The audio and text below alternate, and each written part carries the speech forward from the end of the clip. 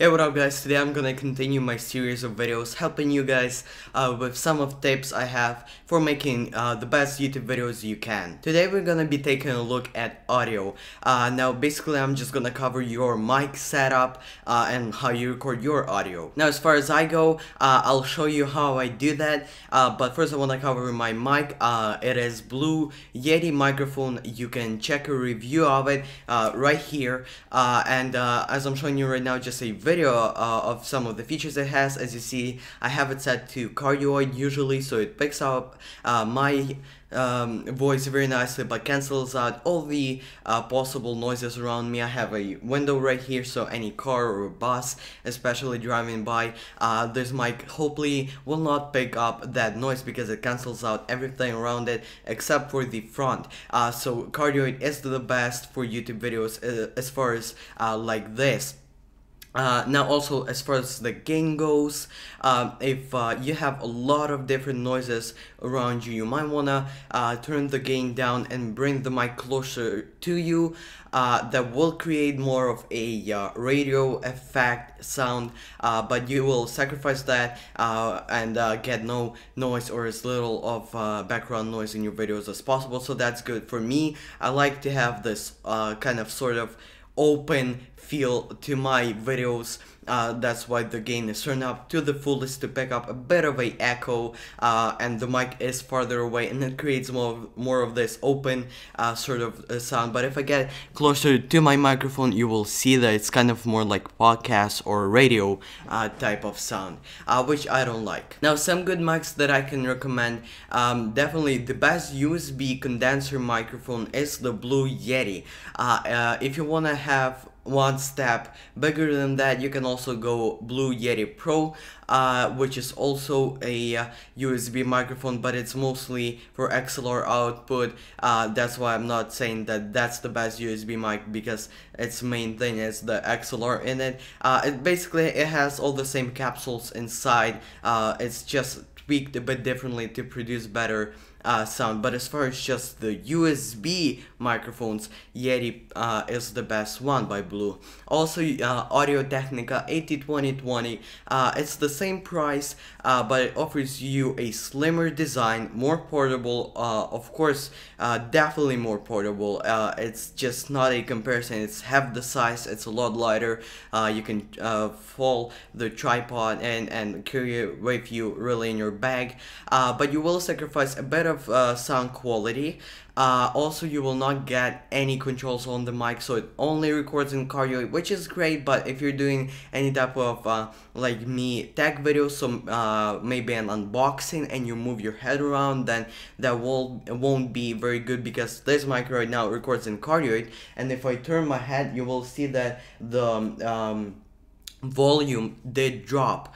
Uh, so I can set it to omnidirectional and then no matter where I am it will pick up my noise uh, equally. On AT2020 you will lose that feature uh, so it only records in cardioid which will limit you to uh, only one type of uh, audio rec recording and that will limit you to what kind of videos you can do. Uh, so I don't really recommend that for everyone. Uh, if you know what kind of videos you're gonna be doing and stick just with that maybe that's a safe buy for you. Uh, but I like to have options maybe in future something comes up uh, and I want to be able to do that. Uh, you also cannot control your gain on uh, AT2020 you can do that digitally on your computer but still nice to have that feature. There's no like Blue Yeti right now it offers me USB uh, or not USB but headphone jack that uh, is zero latency headphone. So if you're doing podcasts and you like to listen to your voice uh, check if it's alright then you can do that. With Yeti you can't with AT2020 um, so uh, that's basically why I think this one is the best also I can recommend uh, also by Blue Snowball uh, it's a decent mic it's definitely not as good sounding as even AT20 2020 and nothing like um, Yeti. Uh, but you do have uh, three different patterns. It's, it's really two different patterns. It's cardioid and omnidirectional, and uh, the third one is it's uh, it decreases uh, the volume by 10 decibels I believe that's what it's uh, uh, counted in decibels uh, so it decreases by 10 so for playing guitars like or something like that but I believe it's still cardioid. So really two patterns that you can use uh, so it's a bit better and it's uh, cheaper it's a hundred dollars where these two come up at $150 uh, so if you're short for money uh, Yeti will be or not Yeti but Snowball will be a great purchase for you. Okay guys so what I want to do right now is show you how far this microphone is from me. So I would be sitting uh, on this chair usually in my videos and the mic is about I would say two uh, to three feet away from me usually. Uh, but two feet is great works great for me. Uh, so it sits right here on this line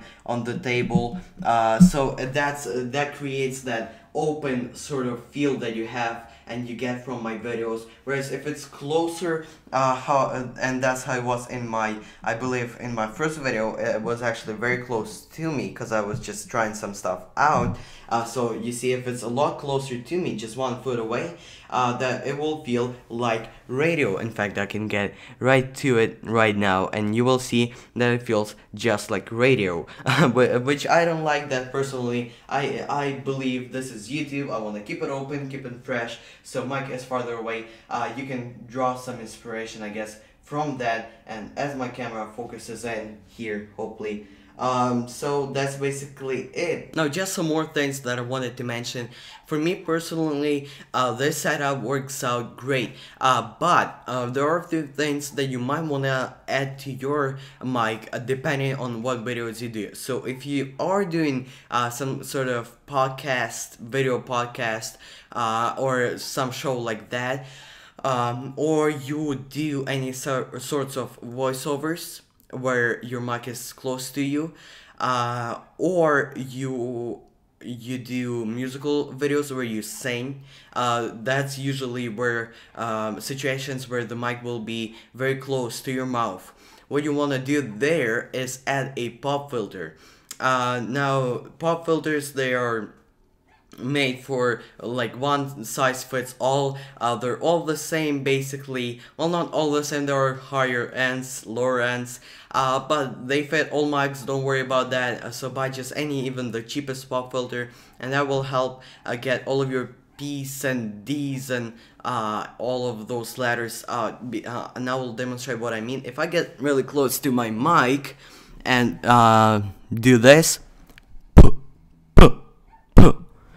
you will see that uh, the air from my mouth hits the capsules in the mic and uh, uh, creates that sort of this sound uh, which really isn't pleasant. So pop filter will protect you from that. Another thing also is if you're doing any kinds of uh, uh, screenshot videos so when you're recording your screen either it's for gameplay or you're just doing how-to videos on different applications or programs uh, whatever you want to call it depends on what platform you're. But if you're recording your screen and your microphone is on the same desk as your computer um, as that's why you shouldn't use your built-in mic for those type of, of videos. Because if you're doing that and your microphone is on the same table uh, as your computer each absolutely each especially if it's a uh, condenser microphone which most of USB mics are uh, all the uh, buttons on your keyboard, your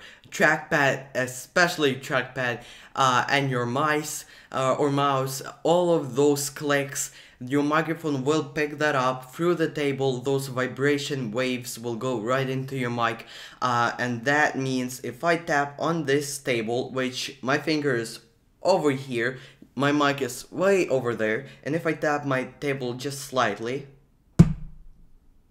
you will hear it on the microphone. That uh, that's because the vibrations go uh, goes uh, through the table uh, through the mic stand and right into microphone capsules uh, so you might in that cases want to inv- invest in a microphone shock mount uh, and of course that means a as well as in the microphone stand.